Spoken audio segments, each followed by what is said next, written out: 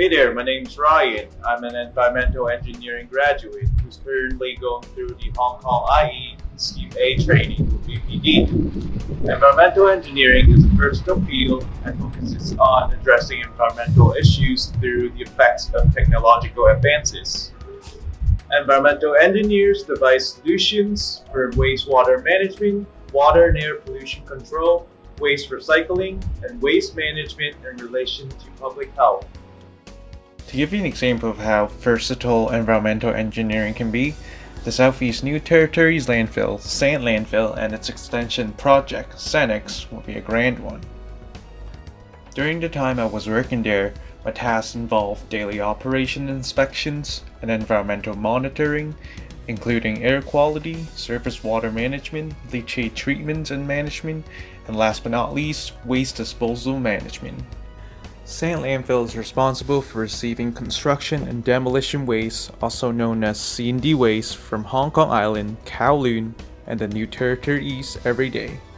It is one of the most important waste facilities in Hong Kong for proper non-inert C&D waste disposal. As the SENT Landfill surface life is coming to its end, the extension will provide an additional landfill capacity of around 6.5 million cubic meters. SENT Landfill is the first landfill project I got involved in. As we all know, the Southeast New Territories has gone through rapid development, more people are residing in this area and are more aware of the landfill related activities. It is important for us to ensure proper operation of landfill and to maintain a low environmental impact to the public. Besides minimizing environmental impacts, the principle of waste to energy has been implemented to make good use of land resources and technology. Landfill gas resulted from the decomposition of organic content in the non-inert C&D waste can be utilized for power generation and synthetic natural gas production.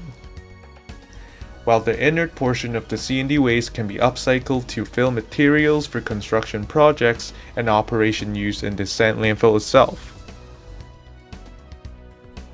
So you can see that the work of environmental engineering is very diverse and require knowledge of different engineering disciplines.